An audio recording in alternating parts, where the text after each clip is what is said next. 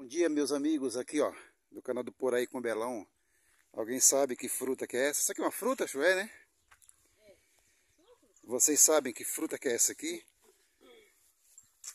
Essa aqui é o piqui. Aqui ó. Pequi, ou piqui. Olha só essa árvore como é que tá, ó. Lotada de, de piqui. Eu não gosto. Eu não sou chegado a piqui. É um tempero muito forte, né? O pessoal faz comida, né, Chu?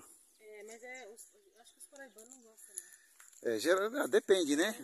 Mas os mineiros, goianos, né? Aqui, ó. Pequi. Na Paraíba tem? É, na Paraíba acho que tem. Meus amigos conterrâneos da Paraíba. Olha o tamanho desse bitelão aqui, ó. Nossa, não sei se dá pra ver. Olha aqui pra você pegar que eu peguei no chão. Olha só.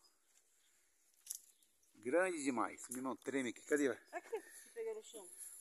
Ô pessoal, uma... esse- isso daqui é piqui, isso daqui é tomate. Tomate. Pequi tomate.